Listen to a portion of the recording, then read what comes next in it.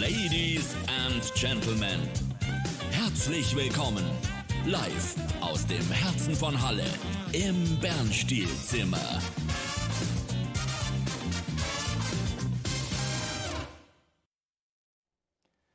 Herzlich willkommen zur mittlerweile fünften Folge hier im Bernstehlzimmer, live aus dem Herzen von Halle im Schad gegenüber vom Händehaus. Ihr seht es, ich bin heute wieder nicht allein. Nach der letzten Folge mit Philipp Amthor geht es hier politisch weiter, aber nicht weniger charismatisch, kann ich euch versprechen. Ich habe heute einen ganz besonderen Gast wieder hier, der auch eine gewisse Anreise hinter sich hat. Äh, jetzt muss ich erstmal auf meinen Zettel gucken. Ich weiß gar nicht, wie ich dich jetzt richtig begrüße, weil äh, Professor Dr. Patrick Sensburg oder Oberst der Reserve. Du darfst ähm, auch Patrick weiter sagen. Ja, okay, aber äh, das freut mich. Äh, das ist auf, jeden Fall schon mal gut für unsere Zuschauer. Ähm, Patrick, herzlich willkommen hier im Bernstedtzimmer. Es freut mich wirklich außerordentlich sehr, dass du hier mal wieder in Halle bist. Äh, das Richtig. wissen unsere Zuschauer noch nicht, aber wir haben ja ein bisschen Zeit, um heute so verschiedene Themen abzuarbeiten. Für diejenigen, die das erste Mal zuschauen, die werden sich jetzt wundern, hier stehen zwei Getränke. Für die, die öfter zuschauen, die werden das wissen. Mein Gast darf immer sein Lieblingsgetränk auswählen und es geht immer los mit der Frage, Patrick, was trinken wir hier? Also ich hätte natürlich gerne einen Mojito getrunken, aber da ich heute mit dem Auto kommen musste, die Bahn fuhr nicht, hatte eigentlich eine Bahnfahrt geplant und dann ging alles nicht. Und da habe ich mir ein Auto gemietet, um überhaupt hier hinzukommen. Und da habe ich gedacht, Alkohol geht dann besser nicht, sonst jetzt ist es ein Moskito geworden. Also alkoholfrei. Das ist ein alkoholfreier Mojito? Ja, ich hoffe das. Sonst, äh, Nein, nein, also äh, wenn das so ist, dann erstmal Prost, herzlich Cheers. willkommen äh, hier in Halle im wunderbaren Bernstedtzimmer. hast du den auch alkoholfrei? Ach du liebe Zeit, habe ich dir was angetan hier? Ach, das ist nicht schlimm. Ich wohne ja hier und ähm, kann man schon mal sagen, wir haben Sonntag schon direkt die nächste Sendung, also insofern alles gut. Patrick, Da fehlt aber schon ein bisschen was, ne? ja, du, der Strohhalm, der Alkohol. Nein, ich dachte den Alkohol. Ja, ich habe jetzt auch voll auf so eine Limette gebissen, aber Aber das ist gesund, das ist auch gut. die, ich glaube, mit Alkohol wäre es noch gesünder, aber gut. Safety first. Genau. Safety first, das Nein, könnte eigentlich auch das Thema Das ist sein. klar, mit Alkohol fährt man nicht. Null. Das stimmt. Genau. Wobei, weißt du, ist der Unterschied ähm, zwischen äh, Stadt und Land? Kennst du den? Ja, ich kenne das, ich komme aus einer ländlichen Region, aber sag mal euren. Naja, bei uns ist das so, äh, in der Stadt, ja, wenn du da drei Bier trinkst, darfst du nicht mehr fahren. Wenn du auf dem Land drei Bier trinkst, dann bist du der Fahrer. Nein, nein, nein, das ist eine klare Regel. Und da hat man immer einen, der fährt. Oder man muss halt eben einen Kollegen haben, der Polizist ist, der einen dann noch nach Hause bringt, aber nicht mehr selber fahren. Ja, gutes Stichwort. Äh, ich vermute mal, es kennen dich jetzt außerhalb des Verbandes der Reservisten der Deutschen Bundeswehr e.V., also VDRBW. Da kennen dich alle. Da kannst du ja gleich noch was zu sagen, aber außerhalb dieses Gremiums nicht so viele. Du bist natürlich einer meiner geschätzten Kollegen und du hast auch den Professortitel ja nicht einfach nur so verliehen bekommen, sondern du bist tatsächlich Jurist und Gastprofessor an der Hochschule für Polizei und öffentliche Verwaltung Nordrhein-Westfalen in Münster. Ja, da bin ich sogar nicht nur Gastprofessor, da bin ich sogar richtiger Professor. Deswegen. Ganz genau. Ja. Und ähm, das auch schon jetzt seit einigen Jahren, seit 2008. Und das ist ja eine ganz äh, spannende Hochschule, weil wir bilden in Nordrhein-Westfalen die Polizei aus. Ja. Also jeder, der zur Polizei will, Kommissar werden will, kriegt erstmal ein Studium, drei Jahre mit praktischen Teilen. Und dann wird er ausgebildet. Und dann lernt er natürlich nicht nur, wie man es so macht als Polizist, sondern man lernt auch die rechtlichen Grundlagen. Man lernt äh, psychologische Hintergründe, also ganz, ganz viel. Und das läuft bei uns an der Hochschule. Also man lernt dann quasi auch, wenn so ein Demonstrant kommt und der ist dann renitent, heißt das, glaube ich, bei der Polizei, was man dann darf, du lachst, Was- man darf und was nicht, richtig? Ja, ganz genau. Und man lernt auch im Grunde, wie wichtig zum Beispiel die Versammlungsfreiheit nach Artikel 8 ist, dass es ein hochgeschütztes Gut ist. Man lernt aber auch, dass da drin steht, friedlich und ohne Waffen. Und das vergessen heutzutage manche, die demonstrieren. Die sagen nämlich, das gehört alles zu meinem Demonstrationsrecht. Gullideckel auf Polizisten werfen. Nee, das gehört gar nicht dazu. Das ist eine Straftat. Ja, wie ist das für dich, wenn du jetzt sozusagen aus dem Juristischen kommst, aus jemand, der Polizei auch ausbildet, jetzt bist du im Parlament, äh, man könnte ja eigentlich direkt sagen, so Mr. Sicherheit, du bist ja im Verteidigungsausschuss äh, und auch noch in einem anderen Gremium, über das wir nachher vielleicht äh, dann noch sprechen können. Und jetzt kommst du in den, in, in den Bundestag und hast du da mal irgendwie eine Situation gehabt, wo du sagst, da hat dir jetzt dein Wissen auf der Seite der Polizei, so würde ich dich jetzt mal verorten, auch mal geholfen? Ja, also Wissen schadet in der Regel nicht. Das stimmt. Ähm, also von daher, manchmal äh, denkt man sich eher, Mensch, warum ist die politische Seite so weit weg von der praktischen Seite? Hast du ein Beispiel? Ähm, ja, zum Beispiel alleine, was Polizeibeamten so vor Ort erfährt, was, da, was deswegen passiert, ähm, das sieht man doch in der Politik etwas von der Metaebene. Also, dass so ein typischer Alltag ist, dass der Polizist auf Streife mal angespuckt wird. Das ist ähm, Alltag. Ja, das ist teilweise Alltag in bestimmten Kiezen und das ist eben was, wo man als Politik klare Signale setzen muss. Und deswegen haben wir zum Beispiel als Union auch klare Signale gesetzt. Polizeibeamte bedrohen, Polizeibeamte bespucken oder sonst irgendwas. Das kann man nicht einfach tolerieren und wir haben da die Strafen erhöht. Und das ist auch gut so, weil ich glaube, diejenigen, die uns schützen, die für uns da sind, auch für den Kopf für uns hinhalten, denen müssen wir auch als Rechtsstaat dann die Unterstützung geben, dass sowas nicht akzeptabel ist. Und das sind so Sichtweisen, die kriegt man aus der Praxis dann mit. Also ich war zwölf Jahre jetzt im Rechtsausschuss, ähm, auch parallel im Innenausschuss. Jetzt in dieser Legislaturperiode natürlich aufgrund des Themas Bundeswehrreserve in den Verteidigungsausschuss gewechselt. Das sind also die Sicherheitsthemen, die haben mir beruflich immer schon gelegen und das war meine Berufswelt und das war ganz gut, dass das im Bundestag auch meine Themen waren. Wären es jetzt ganz andere gewesen, wäre es wahrscheinlich nicht so leicht geworden. Ja, das ist ja, ich habe ja tatsächlich heute wieder eine super Vorbereitung. Äh, da habe ich so eine Karte, da stehen so Gemeinsamkeiten drauf. Du hast eine schon angesprochen. Du warst sehr lange im Innenausschuss. Man könnte jetzt sagen, ich bin dann ja erst nach dir in den Bundestag gekommen und habe dann das Innenausschussthema äh, geerbt.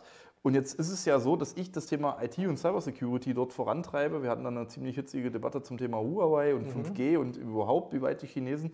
Und die Legislaturperiode davor warst du ja sehr einen ganz interessanten Ausschuss, den du geleitet hast. Äh, erzähl doch mal zwei Sätze dazu. Ja, das was, also der, das, was du erzählen darfst. Ja, ja doch, klar. NSA-Untersuchungsausschuss, der ist ja abgeschlossen. Wir haben ja auch einen großen Abschlussbericht gemacht, zig hundert Seiten lang. Ja, vielleicht nochmal für die, die das jetzt nicht wissen, was mhm. war der NSA-Untersuchungsausschuss? Also der NSA-Untersuchungsausschuss, das war der, der sich mit den Veröffentlichungen von Snowden beschäftigte. Also im Grunde die Frage, was hat der Snowden alles an geheimen Unterlagen rausgenommen? Der hat ja gesagt, die Amerikaner hören uns alle ab und der BND hilft auch noch dabei. Und dann hatten wir in der letzten Legislaturperiode vier Jahre lang einen Untersuchungsausschuss, der sich im Endeffekt damit beschäftigte was war das mit dem Snowden und seinen Veröffentlichungen. Das war total spannend, weil wir eben gesehen haben, was Nachrichtendienste machen. Im Endeffekt war vieles an den Vorwürfen von Snowden gar nicht richtig. Der hat äh, PowerPoint-Folien falsch interpretiert. Aha. Aber er hat auch den Finger in die Wunde gelegt. Ähm, Im Endeffekt war es dann teilweise ein bisschen ein BND-Untersuchungsausschuss, weil der BND in früheren Jahren. Also der BND, für die, die das nicht wissen, der Bundesnachrichtendienst, Bundesnachrichtendienst genau. ist sozusagen unser Auslandsnachrichtendienst. Richtig. Der hatte ähm, dann, weil er im Bereich der sogenannten Signal Intelligence, das ist Daten aus der digitalen Welt abgreifen, könnte man sagen, weil er nicht so kompetent war, hat er Hilfe von den Amerikanern und von den Briten gekriegt und die hatten dann erstmal eine Vielzahl von Suchbegriffen mit eingesteuert sodass man fleißig, ohne es zu wissen, Leute abhörte, die wir gar nicht abhören wollen. Selektoren heißt das, glaube ich. Selektoren heißt das, ganz genau. So, ja, du kennst dich aus, du bist im Innenausschuss. da habt ihr das nämlich auch immer. Also von daher, ähm, das war ein ganz spannender Ausschuss. Wir haben unheimlich viele Empfehlungen gegeben. Es gab auch ein neues BND-Gesetz daraufhin. Es gab ein neues Gesetz für das parlamentarische Kontrollgremium. Also da hat sich viel verändert. Aber es hat sich eben auch die Sensibilität erhöht, wie wir mit unseren Daten umgehen. Und deswegen fand ich das jetzt klasse. Du hast das gerade gesagt. Ähm, das Thema ähm, Huawei und Ausbau von neuen Netzen mit einer Infrastruktur, die aus China kommt. Da haben sind wir ja nun viele ältere Kolleginnen und Kollegen, aber du hast relativ schnell, das fand ich damals richtig klasse, den Finger in die Wunde gelegt und hast gesagt, kann das denn sein, dass die Chinesen unsere ganze Infrastruktur demnächst aufbauen? Und da geht es nicht nur um die Frage der Sicherheit, das ist ein wesentlicher Faktor, aber da geht es auch darum, wer bestimmt denn irgendwann die Standards. Wenn du alles nur noch aus China hast, und das hast du ganz deutlich betont, mit vielen Kollegen, die du dann auch da sensibilisiert hast, Wer bestimmt hinter überhaupt noch, welches Teilchen ausgewechselt werden kann? Das können dann nur noch die Chinesen. Und das bei dem höchsten Gut, das wir haben, unsere Daten. Also das war gut, dass du damals reingegrätscht bist. Ja, das war auf jeden Fall, du hast ja gesagt, ich habe den Finger in die Wunde gelegt. Ich habe Glück, dass der noch dran ist. Ja, das, ja, war, das, war, eine ganz schön heiße Debatte. Mhm. An dieser Stelle, ähm, wir haben ja jetzt schon viel, erst, mhm. wir sind schon sehr tief eingestiegen. Ich glaube, man merkt, wir arbeiten öfters zusammen. Wir müssen aufpassen, dass es nicht zu nerdig wird, also mhm. zumindest nicht von meiner Seite. Mhm. Ähm, Herzliche Grüße natürlich an alle, die jetzt hier zuschauen. Ihr seid wie immer eingeladen, Fragen zu stellen. Ich hatte es jetzt schon gesagt, der Patrick ist ähm, vielseitig versiert. Es geht nicht nur um NSA-Untersuchungsausschuss. Mhm. Natürlich haben wir heute auch die Bundeswehr im Fokus. Da kommen ja. wir gleich noch drauf. Insbesondere unsere Reserve. Ähm, wenn ihr also dazu Fragen habt, dann immer her damit. Und ansonsten könnt ihr natürlich gerne auch andere Themen ansprechen, die euch gerade auf dem Herzen mhm. liegen. Patrick sitzt wie ich im ich Bundestag. Ich sehe ja schon im Grunde, dass ja, es da kommt Fragen. Fragen gibt. Kann man zur Zielscheibe werden? Ähm, wenn man ähm, sicherheitsrelevante Informationen googelt. Also man kann zur Zielscheibe werden, wenn man sich intensiv mit Nachrichtendiensten beschäftigt. Was sind denn, was also, sind denn sicherheitsrelevante Informationen? Googeln? Also ich sage nur mal, bei mir war es mal so, ähm, dass mein Handy äh, vermutet wurde, dass es gehackt war. Das wurde dann ans BSI geschickt, das Bundesamt für Sicherheit und Informationstechnologie, sollten das überprüfen. Und dann kam das aufgebrochen an. Das war schon mal der, der erste Teil. dann hat man die einzelnen Bestandteile dann irgendwann durchleuchtet, geröntgt und so weiter ist immer noch auf einer PowerPoint-Folie des BSI und des BSD ein Handy und das ist dann meins. Also da kann man schon, wenn man sich intensiv mit den Sicherheitspolitischen Das ist das Themen, rosa Telefon, oder? Das ist dieses äh, nicht rosa Telefon, aber das, was äh, durch die äh, Durchleuchtung so ein bisschen farblich aussieht. Also soweit, dass ich ein rosa Telefon habe, ist es noch nicht gekommen, ähm, aber es ist ein schwarzes Telefon, das ich habe. Ähm, von daher, ähm, da, da kann man wirklich mal in den Fokus gelangen. Und ich sage immer, Berlin ist so der Standort für die Nachrichtendienste. Mhm. Da spielt sich die zentral die europäische Politik ab. Viele Firmen haben ihre Repräsentanzen. In Berlin tut sich unheimlich viel, so viel wie früher in Wien konnte man sagen, aber noch viel mehr. Also alle Nachrichtendienste sind in Berlin und gucken, was sie da abgreifen können. Wenn man nur sicherheitsrelevante Sachen googelt, zum Beispiel, wie man sich gegen das Abhören von Daten schützt, ähm, oder, oder, oder, ähm, dann ist das auf den ersten Blick nicht so. Wenn ich jetzt bestimmte andere Sachen google, zum Beispiel wie ich Sprengsätze baue und diese Begriffe immer wieder eingebe, sage ich mal, dann hoffe ich, dass unsere Nachrichtendienste da aufmerksam werden. Also ich sage mal, wer Salpeter, Zucker, Rizin, Bombe, Splitterbombe eingibt, du, alles, äh, Begriffe, alles Begriffe, die kann man nennen, das ist Hausfrauenweisheit. Ja, ähm, ich, ich äh, wollte jetzt auch nicht, dass Facebook dieses Video im Nachgang sperrt. Äh. Nein, nein, nein, keine Sorge. Also da sind wir noch auf dem Hausfrauenniveau. Das kennt wirklich jeder, der sich ein bisschen mit Küchengegenständen auskennt. Also wer das regelmäßig macht, kommt hoffentlich zurecht in den Fokus von Polizei und Nachrichtendienste, weil der ist mehr als verdächtig. Jetzt muss man ja sagen, du sagst das ja nicht nur einfach nur so, Innenausschuss, äh, Verteidigungsausschuss ist klar. Aber wir haben ja noch ein weiteres Gremium im Deutschen Bundestag, das sogenannte PKGR, das mhm. Parlamentarische Kontrollgremium. Mhm. Und da bist du ja auch Mitglied. Und äh, mhm. was macht denn dieses Gremium? Erzähl doch mal aus dem Nähkästchen. Ne? Ja, also was das Gremium macht, kann man erzählen, weil das ist ja auch mal vom Bundestag eingesetzt worden ja. mit einem Auftrag. Das ist also klar. Das Parlamentarische Kontrollgremium überwacht die Tätigkeit der Nachrichtendienste. Dass die Nachrichtendienste einmal im Rahmen der Gesetze handeln. Wer ist das bei uns in Deutschland? Das ist bei uns einmal, du hast es schon gesagt, der Auslandsnachrichtendienst BND, der Bundesnachrichtendienst. Das ist für das Inland auf Bundesebene der Verfassungsschutz. Und das ist der militärische Abschirmdienst. Also heute heißt der BAMAT, Bundesamt für den militärischen Abschirmdienst. Das sind unsere drei Dienste, die wir haben, Ausland, Inland und militärischer Abschirmdienst. Also das bedeutet, dass man insbesondere schaut, haben wir Extremisten im Militär, das wollen wir nämlich nicht, und die dann auch rauskatapultiert. Das sind unsere drei Dienste und wir schauen, halten die sich an ihre rechtlichen Befugnisse. Wir wollen, dass die ordentlich arbeiten können, die haben nämlich einen, einen sinnvollen Zweck. Wir haben ihnen deswegen einen gesetzlichen Rahmen gegeben weil Staat natürlich immer in Rechte eingreift. Deswegen muss es kontrolliert werden. Und wir schauen, halten die sich an diesen Rahmen oder gehen die darüber hinaus? Wir schauen aber auch, reicht der Rahmen aus? Können die mit diesen gesetzlichen Grundlagen auch die Arbeit machen, die wir von ihnen wollen? Ja, und ich glaube, ihr kriegt da auch den ganzen Kram erzählt, den wir nicht wissen dürfen, oder? Ja, das ist so. Also wir tagen in der Regel ähm, ähm, geheim. Ähm, in der Regel ist eigentlich gar nicht bekannt, wann wir tagen und in welchen Räumen wir tagen. Ähm, und wir erfahren im Grunde alles, was an operativen Dingen auch eine Rolle spielt, wie einzelne Operationen vom Bundesnachrichtendienst, Verfassungsschutz laufen. Nicht, weil wir, ich sag mal, so unheimlich neugierig sind und so kleine James Bond sind, sondern weil wir natürlich wissen wollen, handeln die im Rahmen ihrer Kompetenzen und gelingt es denen, denn auch das herauszufinden, was wir wollen, zum Beispiel, wer bedroht unser Land von außen, aber auch von innen und deswegen sollen die auch genau hingucken, aber bitteschön nur im Rahmen ihrer Befugnisse. Und jetzt hast du ja gerade schon angesprochen, James Bond. Ähm, der eine oder andere weiß, ich bin ein großer James Bond-Fan. Jetzt kommt auch demnächst der neue Bond.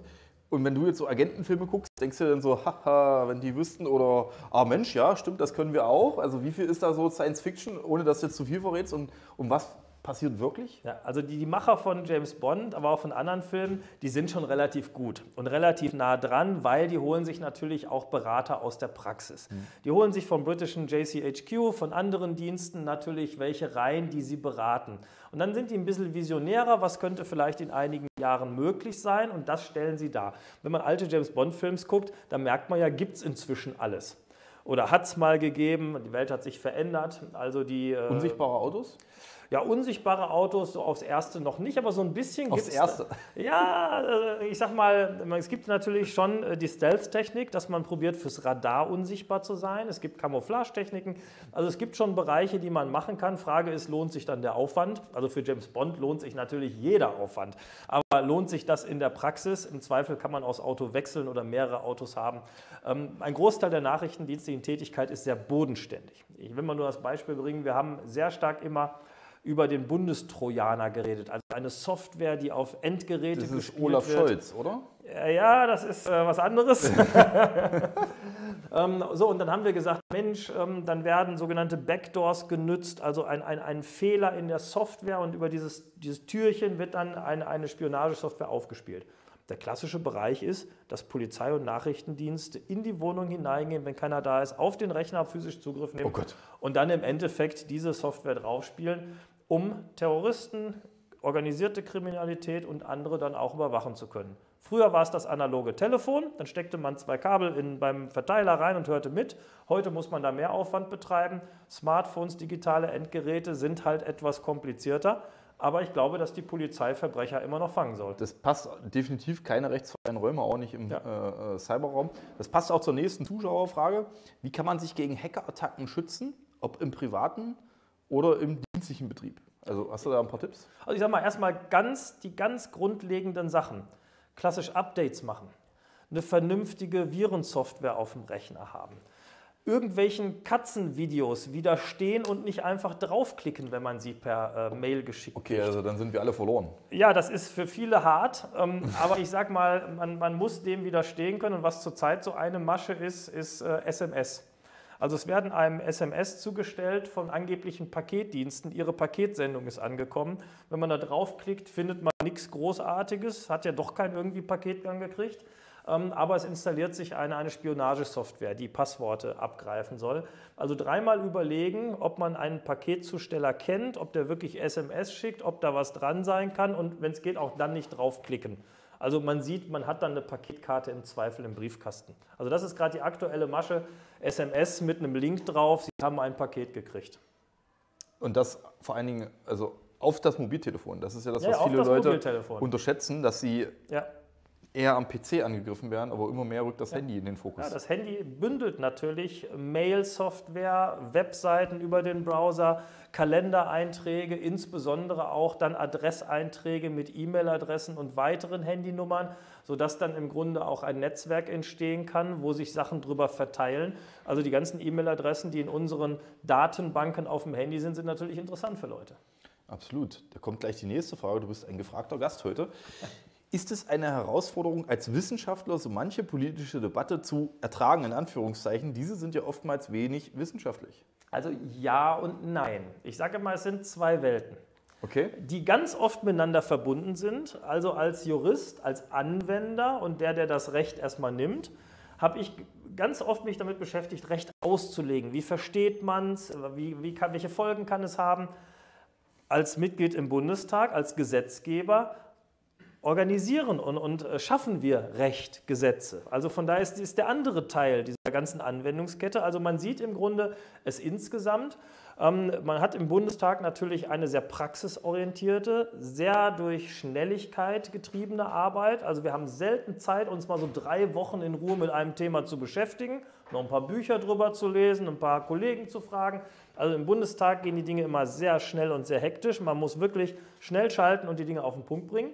In der Wissenschaft hat man dafür etwas mehr Ruhe. Also das sind zwei unterschiedliche Welten, aber die ergänzen sich eigentlich sehr schön, finde ich. Und beide haben ihre Vor- und Nachteile. Also in wissenschaftlichen Gremien wird teilweise genauso schräg diskutiert wie in der Politik. Und meistens genauso lange ohne ein konkretes Ergebnis. Ah, ja und nein. Also ich würde sagen, im Bundestag haben wir dann doch im Ergebnis äh, ganz guten Output und das haben wir in, der, in den Hochschulen auch. Aber die jeweilige Sitzung, die kann dann manchmal ganz schön zäh sein. Also sowohl Fachbereichsratssitzungen, Senatssitzungen, erinnern mich manchmal auch an Sitzungen in Ausschüsse und im Plenum. Im wenn, du, wenn du gerade sagst, Gremien, wissenschaftlich und so weiter, ist mir jetzt gerade eingefallen, uns ist nämlich was ganz Tolles gelungen. Du bist ja auch Mitglied im Kuratorium Bundeszentrale für politische Bildung. Ja. Da bin ich als Stellvertreter. Mhm. Und diese Bundeszentrale wiederum, die macht ja den Valomat. Mhm. Hast du den aktuellen Valomat schon gemacht? Ich habe ihn noch nicht gemacht. Bis jetzt bin ich noch sehr verfestigt in meiner Meinung. Von daher, von daher will ich mich da gar nicht abbringen lassen. Ja, ich, ich mache das ja immer, um mal zu gucken, äh, wie genau ist der Valomat ja. aktuell mhm. und äh, haben sie sorgfältig gearbeitet. Ich muss mal ein Lob aussprechen. Also dieses Mal ist er wirklich ziemlich präzise. Ja. Und wir haben es sogar geschafft, diese 5G-Huawei-Thematik in den Valomat zu bringen. Es gibt Klasse. da eine Frage, sind Sie dafür, dass, Chinesisch, äh, dass chinesische Firmen unsere Telekommunikationsinfrastruktur ja. ausstatten sollten? Also da kann man mal sehen, wie weit man so eine Debatte auch Super. tatsächlich treiben kann. Das ist ja auch das Schöne, dass du in diesen Gremien insgesamt bist, innen, Bundeszentrale für politische Bildung, Sicherheit. Und dann merkt man auch, ja. das rundet sich ab. Also das finde ich auch bei dir ganz praktisch, dass du wirklich in diesen Gremien insgesamt bist. Ähm, und ich glaube, das werden auch viele Leute hier wahrnehmen schon, oder? Bist ja. du angesprochen so auf Sicherheitsthemen hier in Halle? Ja, also ich denke schon. Also so das Thema Sicherheit ist schon Kannst ziemlich... Kannst du das Knöllchen ja. wegmachen? Du bist noch nicht darauf angesprochen worden, oder? Doch, schon. Was? Aber das ist jetzt eine blöde Frage, weil ich bin auch Stadtrat. Mhm. Also insofern, nein, das kann ich natürlich nicht. So, es gehört ja. sich aber nicht und wer ein Knöllchen bekommt. Äh, wir haben hier ein sehr nettes Ordnungsamt, mit dem kannst du auch nochmal verhandeln, aber wenn du auf dem Behindertenparkplatz stehst, dann hast du das Ding auch verdient. Das muss man Zurecht. einfach mal knallhart sagen. Ja. Jetzt haben wir schon sehr viel über innenpolitische Themen geredet. Ja. Vielen Dank dafür, da kenne ich mich ein bisschen aus. Ähm, VDRBW, ja. Präsident. Mhm. Das ist doch eigentlich den geilsten Job, den man sich vorstellen kann, oder? Das ist so. Ist ein Ehrenamt, muss man sagen. Ja. Aber ist eines der schönsten Ehrenämter, die ich mir vorstellen kann, weil man verbindet so die, die eigenen Interessen ähm, mit der Verbandsarbeit. Der Verband der Reservisten der Deutschen Bundeswehr, wie er heißt, ist jetzt 61 Jahre alt. Wir hatten letztes Jahr unser 60-jähriges. Hätten wir gerne richtig gefeiert, aber mit Corona ging das alles nicht so.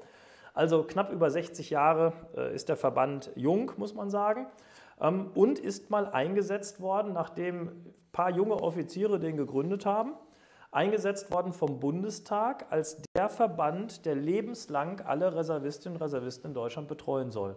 Wir haben zurzeit 10 Millionen Reservisten in Deutschland, die den Status Reservisten haben. Von dem, der gerade einen Tag gedient hat, bis zu dem, der 95 Jahre alt ist. Der gilt auch noch statusrechtlich als Reservist. Der macht zwar Millionen. keine 10 Millionen haben den Status Reservist. Liegt natürlich früher an der Wehrpflicht, ja. wo jeder junge Mann zur Bundeswehr musste. Mhm. Das hat natürlich sehr viele erfasst. Mhm. Die sind jetzt schon etwas älter, mhm. aber sie gelten noch als Reservist. Von diesen 10 mhm. Millionen sind knapp eine Million noch in dem Alter und im gesundheitlichen Zustand, wo sie zur Wehrübung herangezogen werden können. Die heißen jetzt übrigens Reservistendienstleistung. Ah, okay. Genau. Das, das, das Langläufig sagt man da immer noch Wehrübung zu. Wusste selbst ich nicht. Ja, klar. Und äh, jetzt gibt es ja auch ein neues Gesetz, äh, oder wir haben es ja geändert, den Veteranenstatus. Ne? Mhm. Kannst du das vielleicht nochmal kurz erklären? Ja, der Veteranenbegriff ist in Deutschland ein sehr umfassender. Mhm. Auch als Veteran gilt man, wenn man nur einen Tag bei der Bundeswehr war und nicht unehrenhaft entlassen ist. Dann gilt man als Veteran. Deswegen ist es ganz spannend, dass auch Soldaten, die noch im Dienst sind, sich das Veteranenabzeichen besorgen können. Und was ist dann der Unterschied zum Reservist? Es gibt eigentlich keinen großen Unterschied, es ist ein okay. begrifflicher Unterschied mhm. und beim Veteranenbegriff differenziert man noch. Man hat zum Beispiel die Einsatzveteranen, die in ah, ja. den verschiedenen ja. Einsätzen waren. Man hat aber auch zum Beispiel, das habe ich jetzt vor kurzem gelernt, etwas, das waren die Veterans of the Cold War. Das waren die, die im Kalten Krieg auch immer sich engagiert haben. Wir haben das ähm, in den alten Bundesländern, da gab es die großen NATO-Herbstübungen. Dann waren es mehrere Tage draußen mit allem Gerät, mit allen Leuten und jedes Mal starben da auch welche bei. Verletzte, die haben hinter einem Panzer geschlafen, dann fiel der Panzer los und dann hat man die beiden halt nicht mehr gesehen. Also es kamen immer welche ums Leben und die sagten, bitte vergesst uns nicht, wir sind immerhin die Veterans of the Cold War. Mhm. Also auch da gibt es eben besondere Härten. Und da beschäftigt man sich natürlich gerade mit den speziellen Dienstzeiten als Veteran. Es betrifft eher diejenigen, die ihre Dienstzeit hinter sich gelassen haben, mhm. die Reservisten, wir haben gerade sehr aktive Reservisten, ähm, verstehen sich ja noch als die, die Dienst leisten. Wir haben Reservisten, die leisten zehn Monate im Jahr Reservistendienst. Also sind ständig am Üben. Wir haben sogar einen U-Boot-Kommandanten, der ist Reservist. Aha. Der fährt dann mehrere Monate mit einem U-Boot auf Fahrt als Kommandant. Verrückt. Ja, wir haben äh, Piloten für den A400M, der fliegt sonst für die Lufthansa, hat Ja. den A380 geflogen. Der fliegt nicht mehr bei der, Bundes äh, bei der Lufthansa, den haben die abgeschafft. Und was findet der, was findet der cooler? Also ich denke mal, er findet den A400M cooler, weil der Darf hat, schon, mehr mitmachen, ne? der hat schon tolle Flugeigenschaften. Das ist Wahnsinn. Bist Kannst- schon mal geflogen, ja? ja, bin schon mal mitgeflogen, den kannst du mit dem Tablet steuern. Also es ist schon ein Hammergerät.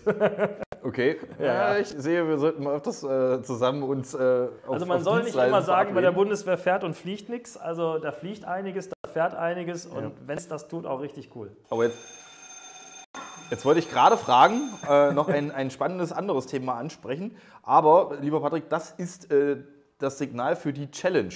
Ich habe mir sagen lassen, du hast schon ein, zwei Mal zumindest mal reinsetzen können. Ich trinke noch mal was Stärkung. Ja, mach mal. Also, äh, du, es steht auch äh, fünf, nee, vier, also jetzt ist die fünfte Folge. Ja, da Äh, kannst du 4 nicht, zu kannst 0, nicht gleich stehen. 4 zu, 4 zu 0 für die Gäste. Äh, 4 ich- zu 0 für die Gäste, müssen wir machen. Ja, also ich habe noch nicht gewonnen bis jetzt. Ich Also soll ich das jetzt aber- aufmachen? Ja, du musst auch die Challenge vorlesen. Also guckst da du haben wir erst mal fast an, gedacht. äh, wie es funktioniert. Ich bin wieder gespannt. Äh, Also, erstmal gibt ja auch ein Vorwort, um das zu erklären. okay. Das ist heute die fünfte Challenge, das hast du schon gesagt, im Bernstielzimmer. Und Christoph hat leider bisher noch keine gewonnen. Das kann ich mir eigentlich gar nicht vorstellen. Ich muss mir die nochmal genau angucken. Ja. Heute bestimmt ihr selbst, wer gewonnen hat. Hä? Ja, das bin ich auch mal gespannt. Ich lese mal weiter. Bevor wir die heutige Herausforderung besprechen, einigt euch bitte jetzt erst einmal auf einen Wetteinsatz. Okay, ist schon. Gibt es da noch weitere Infos? Ah, es gibt noch weitere Infos. Vielleicht eine Spendensammlung für den Volksbund Deutsche Kriegsgräberversorgung, das finde ich super. Oder einen gemeinsamen Besuch bei einem Reservistenabend, den, der Gewinn, äh, fest, den der Gewinner festlegt. Also ich würde ja sagen, wir beide sammeln für den Volksbund. Ja, und wer mehr hat, der gewinnt. Nix. Wer mehr hat. Das ist ja nur der, der, der, der, der Wetteinsatz. Die Aufgabe kommt ja noch. Das ist der, der müssen wir dann machen, Wetteinsatz. Und ich würde sagen, also mein Vorschlag, Also wir der sammeln Kriegsgräberfürbund. Nee, äh, äh, Volksbund Kriegsgräberversorge, dafür Genau. sammeln wir und dann gehen wir im Nachgang gehen wir zu einem, ähm, zu einem RK, zum Reservistenkameradschaft. Aber da muss es trotzdem noch einen Das machen wir hier in. Halle. Da Das kommen machen wir auf jeden Da komme ich nochmal rüber. Das ist ein. Deal, ne? Gut. Wenn ich das jetzt überlebe, ich kenne die Aufgabe ja noch nicht. Ne? Also das wäre auf jeden Fall mit jedem. So, sobald ihr euch auf einen Wetteinsatz geeinigt habt, also wir sammeln für den Volksbund und gehen zum RK-Abend, erfahrt ihr auf der nächsten Karte die Herausforderung. Jetzt bin ich mal gespannt.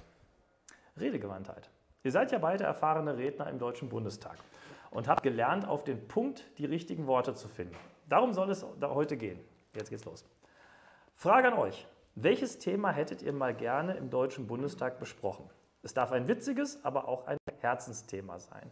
Sobald ihr ein Thema habt, beginnt die Challenge, denn der jeweils andere darf dann innerhalb von 60 Sekunden spontan und frei darüber reden, und zwar so, als wenn er vor dem Deutschen Bundestag stünde. Und danach entscheidet ihr selbst in einer demokratischen Abstimmung, wer gewonnen hat. Das ist bei zwei natürlich hart, sage ich mal, an den er die Frage formuliert hat. Aber wir wollen mal gucken, bei Einstimmigkeit gibt es absolute Mehrheiten. So, das geht dann nicht. Also wenn der Gong ertönt, fängst du, Christoph, an. Also jetzt, wenn ich es richtig verstanden habe, ich das such- Thema? Genau, ich suche mir ein Thema für dich und du für mich. Versteht Ah, ihr? Mensch, okay. klasse aufgeschrieben. Okay, okay, okay. Ich würde mir als Thema vorstellen, Auslandseinsätze der Bundeswehr mehr oder weniger und warum und wie. Und dann muss er jetzt eins für mich sagen. Ne? Und sage ich jetzt erstes, äh, sage ich jetzt gleich auf oder sage ich dann noch dein Thema? Sag mir mein Thema, dann habe ich ein bisschen mehr Zeit zu überlegen. Achso, okay. ähm, Kannst du gleich. nee, nee, ist, ist ganz gut. Also dein Thema ist, ähm, warum wir aktive Cyberabwehr unbedingt verhindern sollten. Aha, aktive Cyberabwehr un- verhindern. Unbedingt verhindern, genau. Ja, viel Spaß. Okay, harte Nuss. Also ich habe jetzt Gut, dass du anfangen darfst. Ja, also ich habe jetzt Auslandseinsätze der Bundeswehr. und Es gibt ein Signal, 60 Sekunden und dann geht's los. Okay. Äh, ich warte auf das Signal. Achso. Zwei Sekunden.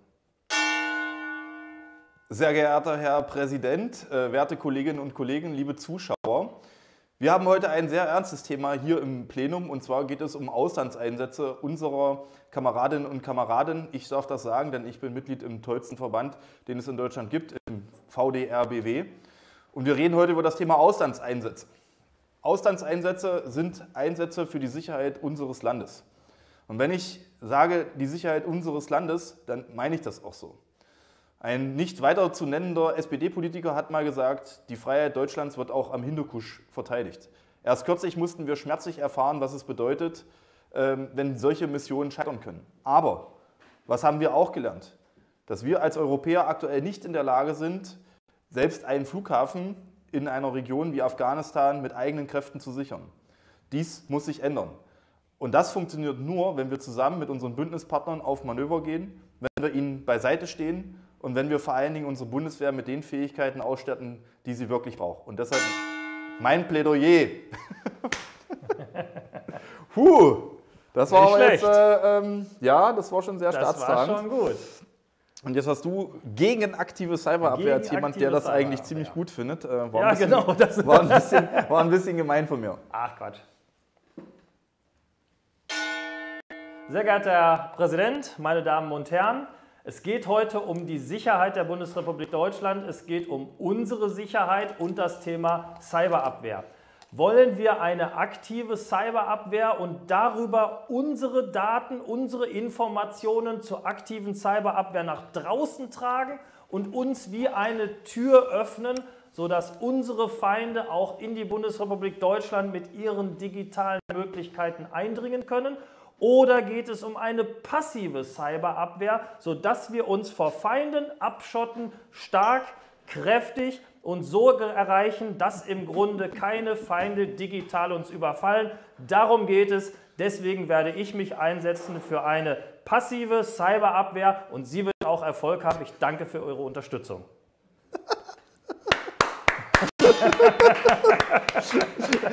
Aber so richtig dagegen konntest du jetzt auch nicht sprechen. Nee? Also, Nee, und ich weiß auch nicht, ob das alles so trägt. Ich glaube, ein guter Redner der CDU-CSU-Fraktion, der dann dagegen gehalten hätte, der hätte das schon auseinandergenommen. ja, aber da wir, da wir ja dafür sind, so jetzt haben wir die schwierige Situation. Ich habe das gerade mal umgeswitcht. Wir haben hier ein paar Zuschauer im Raum. Und wir könnten die ja, das hört man glaube ich hier auch auf den Mikros, einfach über das Applausometer, das ist jetzt auch unfair, du bist in Halle, aber wir sind dafür bekannt, immer super fair zu sein. Deswegen würde ich jetzt einfach mal bitten, äh, da du mein Gast bist, vielleicht einen kurzen Applaus für Patrick. Das ist schon sehr viel gewesen. Also für mich muss der Applaus zumindest natürlich genauso kurz sein, ist vollkommen klar, ja. Aber äh, jetzt dann der Applaus für meine Rede. Also ich glaube, die sind parteiisch.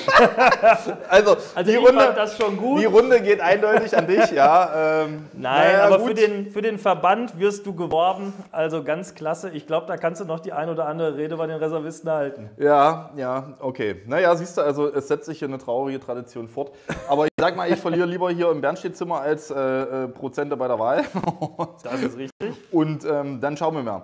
So, jetzt hatten wir ja gerade auch angesprochen schon, und äh, wenn du jetzt schon mal hier bist und wir über die Bundeswehr reden, und das war natürlich das Thema jetzt der letzten Tage, ähm, Afghanistan. Äh, Kann man unsere Bundeswehr wirklich etwas anlassen oder liegen die Probleme eher woanders? Nein, ich glaube, die Soldatinnen und Soldaten haben jetzt 20 Jahre in Afghanistan eine exzellente Arbeit geleistet. Das war gut, was die gemacht haben. Es gab ganz, ganz viele, ähm, die haben sich so stark eingesetzt, dass es bis ans Leben, an die Gesundheit heranging. Ich kenne Kameraden, äh, die haben Freunde verloren.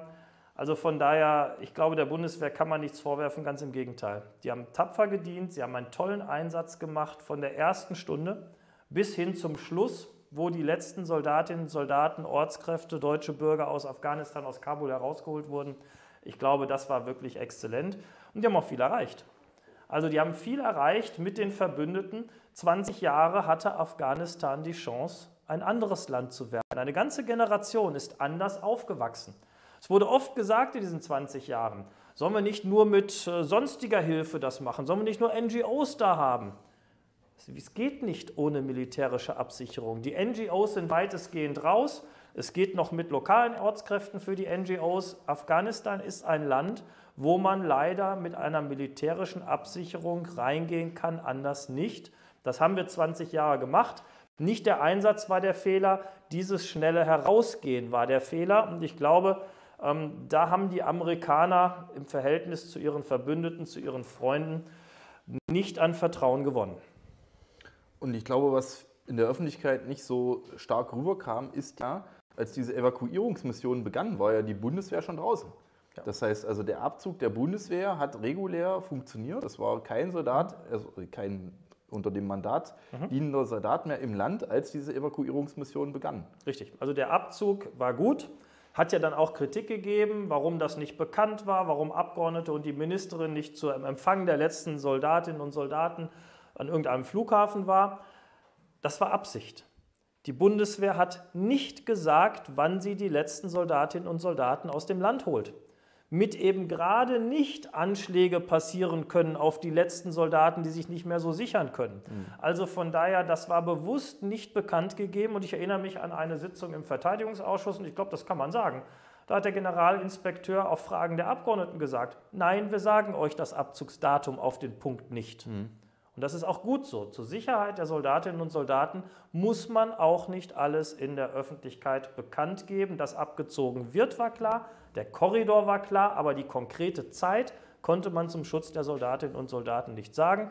Und das war ordentlich gemacht, wunderbar, alle gut, gesund, heil, lebendig rausbekommen. Und dann musste man, wie du sagst, wieder reingehen mit dem KSK übrigens, was viel gescholten ist, aber was jetzt eine tolle Arbeit gemacht hat. Die haben sogar deutsche Bürger noch aus dem Umfeld von Kabul mit Hubschraubern herangeholt, mit Fallschirmjägern und die haben da eine tolle Aufgabe gemacht und haben das auch exzellent hingekriegt. Übrigens mit den guten Flugzeugen, die auch äh, lange Zeit vorher gescholten worden sind, mit dem A400M, ähm, der, der ganz toll ist. Also von daher super Truppe.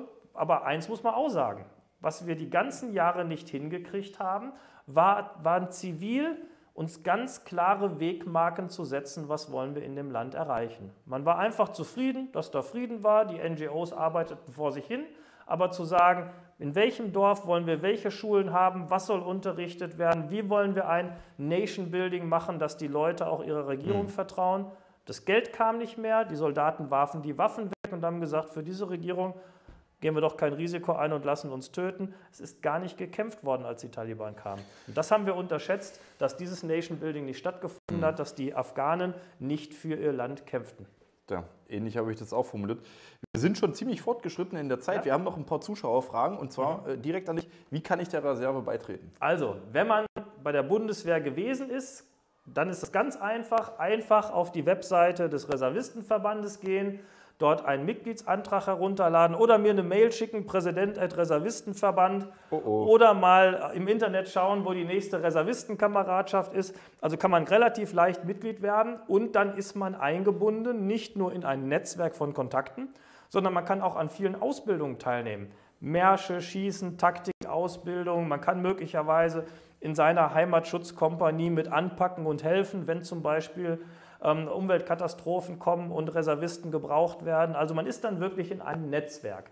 Kann man die Reservisten im Alltag von Halle sehen? Ja, unterschiedlichen, äh, in unterschiedlichen ähm, ähm, ähm, Situationen. Das weißt du sicherlich auch. Einmal fahren sie inzwischen Bahn in Uniform, die Aktiven wie aber auch die Reservisten bei vielen äh, Situationen, wo sie mit anpacken. Und ich glaube, es gibt ganz was Besonderes. Ne? Ja, wir haben hier in Halle natürlich das Laternenfest. Ja. Und äh, für diejenigen, die hier, äh, jetzt ist es zwei Jahre ausgefallen wegen Corona, die sich hier auskennen, da bauen wir den, den Ponton-Schwimmkörper auf. Ja. Äh, und ich würde mir natürlich auch wünschen, dass die Bundeswehr insgesamt wieder präsenter ist, mhm. äh, zusammen mit ihren Reservisten. Da gibt es immer noch leider, leider muss man sagen, ein paar Ressortiments. Mhm. Aber ich finde, die Männer und Frauen, die gehören einfach in unsere Gesellschaft. Es ist eine Parlamentsarmee. Und die dienen für uns und insofern muss man denen da auch den Respekt erweisen. Wir haben hier eine gute Reservistenkameradschaft. Also mit denen müssen wir jetzt was machen wegen unserer Wette. Ja, die freuen sich auf dich. Die und, freuen sich auf dich. Ja, die, die machen eine tolle Arbeit. Und ich sage das auch mal hier in Halle, wenn hier mal irgendwas ist, man kann sich auf die Reservisten verlassen. Das haben wir bei Corona gesehen. 28.000 Reservisten in Deutschland haben mit angepackt und geholfen. Hochwasser 2013. Hochwasser. Bei euch hier, jetzt in Rheinland-Pfalz ja. und in Nordrhein-Westfalen, also, wenn es drauf ankommt, wie der Spruch so schön heißt, die Reserve steht Gewehr bei Fuß. Patrick, ja, so, ich habe ja noch so viele Themen, ja. die ich mit dir besprechen würde, sehr gerne. Aber es gibt noch was, ne? Ja, und zwar Erzähl. sind wir jetzt schon so ziemlich ähm, am Ende der Sendung angelangt. Mhm. Und du siehst es, wir haben hier oben Gegenstände und wir tauschen auch immer mal wieder durch. Das heißt also, nichts ist hier doppelt. Mhm. Jeder dieser Gegenstände sagt ja. irgendetwas über mich aus und ich Aha. kann eine kleine Geschichte dazu erzählen. Und äh, in der Zeit sehen die Zuschauer jetzt schon, welche Gegenstände jetzt ja. gerade so dabei sind. Und du darfst dir gerne jetzt einen aussuchen und da sage ich etwas zu. Ja, ich habe ja schon so ein paar im Blick. Ich habe eben die ganze Zeit mal gedacht, was machst du denn? Also ich würde ja gerne mehrere auswählen, aber darf ich ja nicht. Ne? Das ist ja wieder gemein. Ne? Also ich würde ja grundsätzlich gern mal die äh, Flagge auswählen, die dort ist, um da Hintergründe zu wissen. Naja, Star Trek, der Coin, den ich mal eben gesehen habe, hier hast du irgendwas wahrscheinlich mit Training, ein Puck, aber ich nehme mal die MoMA-Tasse. Und ich sage auch, warum ich die MoMA-Tasse nehme. Also ich war schon ein paar Mal im MoMA, ich habe nie so eine Tasse gekriegt. Was hast du denn da gemacht? Erzähl mal. Ja, witzig ist, äh, dein Kollege, unser Kollege Philipp war ja neulich hier. Ja. Der hat sich auch über die äh, Amtor-Tasse, über die ähm, MoMA-Tasse äh, gewundert. Ja, tatsächlich war es so, äh, ich bin ja auch noch äh, zuständig für das Thema ähm, politischer Extremismus links, rechts. Und da ging es mal um eine Ostquote im Bundestag. Und da hatte ich mich sehr auf dem Antrag der Linken gegen eine Ostquote ausgesprochen. Und dann kam das MoMA auf die Idee, in dem neuen Format MoMA DL, äh, Duell nicht mal einzuladen mit einem Gegner der Linkspartei. Ja, und das war Gregor Gysi. Hey. So, und da hat sich das MoMA gedacht, dann nehmen wir den Gregor Gysi, den alten Hasen, und der Aha. wird ja so einen jungschen CDU-Politiker voll wegputzen. Ja, hat er nicht Ähm, geschafft, ne? Nee, hat er nicht gemacht. Und zwar habe ich ihn dann einmal mitten im Dialog, äh, im Live, kann man ja alles noch nachschauen. Ja. Äh, Er legte dann so los in seiner schönsten Manier, auch ein bisschen überheblich. Und dann sagte er so, naja, man, liebe, man darf ja eins nicht vergessen. Der Grund, warum wir heute über die Ostquote diskutieren, ist der, dass Ihre Partei, Gregor Gysi, die SED, die DDR 40 Jahre lang wirtschaftlich zugrunde gerichtet hat. Und dann griff er nach seiner Tasse und, und konnte gar nichts sagen und sagte dann so, liebe Zuschauer, was ich Ihnen jetzt mal sagen muss, äh, da ist gar kein Kaffee drin, sondern nur Wasser. Also er hat überhaupt nicht auf die Frage geantwortet. Er hat gesagt, das gibt's doch nicht. Und am Ende hat man dann gefragt, ob wir die Tasse dann noch haben können, weil so als Erinnerung. Ja, ja, genau. Und dann hieß das, ja, na klar, äh, gerne, äh, kannst du mitnehmen. Und seitdem habe ich halt hier so eine MoMA-Tasse. Mittlerweile gibt es die im neuen Design. Das ist äh, die Super. Geschichte. Und der Gregor Gysi hat sich auch nie wieder getraut, mit dir ein Rededuell zu machen. Weiß ich nicht, weiß ich nicht. Auf jeden Fall hat er, hat er glaube ich, sich gedacht, beim nächsten Mal informiert er sich nochmal ein bisschen besser über, über seinen Gesprächsgast. Wir haben noch ein paar Minuten. Es gibt noch eine Möglichkeit, ein paar Fragen zu stellen. Ich habe auch noch eine. Auf der Karte der Gemeinsamkeiten steht, äh, du bist Motorradfahrer Ja. seit über 20 Jahren. Richtig. Darf ich wissen, was du für ein Motorrad hast? Also ich oder? habe eine Kawasaki LTD 450. Das Äh, ist so das das? Shopper-Modell von, Ja, okay. von Kawa. Ich wollte mir immer die V-Max kaufen, so als ich so 18, cool, aber 19 das ist doch war. eine Yamaha, oder? ja, die war aber zu teuer. Ja. Also dafür hat es nicht gereicht. Aber jetzt könntest du sie dir rein theoretisch kaufen. Ja, jetzt hat die nicht mehr das Fahrverhalten vom heutigen Stand. Also damals Ja. war das das Mega-Motorrad, aus meiner Sicht ja, zumindest. stimmt, das war so großer Also, Motor und so. Ja, da- das war schon, äh, war- hatte schon ordentlich Schwung. Ähm, aber wenn du heute so eine eine fährst, da merkst du in langgezogenen Kurven, fängt die Gabel an zu vibrieren. Also heute State of the Art ist was anderes und ich komme ja langsam mal in das Alter, wo man über BMW nachdenkt. Mal gucken. Alle, land, alle, alle landen sie am Ende bei der GS. Das Das irgendwann. ist wirklich so. Kaufst du dir eine GS, ich werde hier kriege keine Provision, ja, Ja, aber ja. das habe ich schon so oft gehört. Kaufst du eine GS, bleibst du bei der GS. Aber gut, da könnten wir einen Motorradblock Also ich habe ja auch einen Krattmelder ähm, am Schein bei der Bundeswehr gemacht, Ja. also Motorradführerschein bei der Bundeswehr und da sind wir auch BMWs gefahren, durchs Gelände. Das waren diese richtig fetten Dinger, ne? Herkules, ach nee das war eine Äh, eigene Marke, fürs Gelände waren die etwas kleineren, genau. Ja. Wenn, wenn da ein Herkules kommst du auch durchs Gelände, aber nicht wieder raus im Zweifel. Nein, und von daher, irgendwann holt es einen dann vielleicht wieder ein. Mal gucken. Also ich bin noch am, am überlegen, was es werden wird. Ne? Und wenn du mal Zeit hast, ich weiß zwar nicht, wann das sein soll, habe ich Ja. gelesen, du hast ein Auto, das heißt wie ein britischer Kampfflieger, richtig? Ja, das ist richtig. Das ist ein Triumph Spitfire. Und äh, das ist ein 1500er. Also wer sich das so technisch vorstellen will, ist wie ein Kadettmotor. Also kann man alles selbst dran schrauben. Das Einzige, was ein bisschen blöd ist, ist ein Doppelvergaser. Also wer Spaß am Doppelvergaser hat, kann mir auch eine Mail schreiben. Synchronisieren, Also, also ich hasse das Ding inzwischen. Also äh, Ventilspiel einstellen, das geht bei dem Auto wunderbar. Richtig mit Schieblehren und sowas, alles kein Problem. Alles grob motorisch. Aber das, der Doppelvergaser ist ein Teufelswerk. Das glaube ich. Also Und fährt er jetzt schon, oder? da klar, der fährt, der fährt schon seit Ewigkeiten. Ich habe den in meinem Studium restauriert. Ich konnte nichts an Autos. Also ich wusste, Ja. wo man Gas gibt, wo man bremst, habe ich auch irgendwann gelernt. Aber ähm, nichts an Autos. So, und dann habe ich mir ein Werkstatthandbuch gekauft und bin dann wirklich Schritt für Schritt, drehe die Schraube raus, halte das Teil fest, sonst fällt es dir runter. Cool. Und habe dieses Auto restauriert und habe das auch wirklich ganz, ganz selber gemacht, bis zum Lackieren. Und das mache ich nie wieder. Also ich war abends fertig mit dem Lackieren und das Auto sah so im Halbdunkeln echt gut aus. Am Ja. nächsten Morgen gucke ich mir das bei Sonnenschein an, so richtig die Welt, das war alles Schrott, konnte alles nochmal neu gemacht werden von einem Profi, hat mich schwarz geärgert. Alles, was mit Schrauben zusammenhängt, mache ich. Lackieren kriegt mich kein Mensch mehr dran. Wahnsinn, was man so alles noch über dich erfährt. Wahrscheinlich die letzte Frage, zumindest in dieser Folge und für heute Abend. In welcher Einheit haben Sie gedient? Äh, Ja. Kein Mensch, kein Tier, ein Panzergrenadier. Da kennt sich wer aus. Da Ja. kennt sich wer aus. Also ich habe angefangen in Göttingen bei 543, Panzergrenadierbataillon. Gibt es heute alles nicht mehr. Das war noch auf dem alten MTW, ähm, Mörser Company. Mörser hinten in die Klappe rein, dann schoss man Mörser aus dem Panzer. Dann hüpfte der Panzer so leicht. Danach gab es den Marder bei uns, also das war noch vor der Zeit Marder. Ähm, und äh, immer Panzergrenadier gewesen in unterschiedlichen Verwendungen.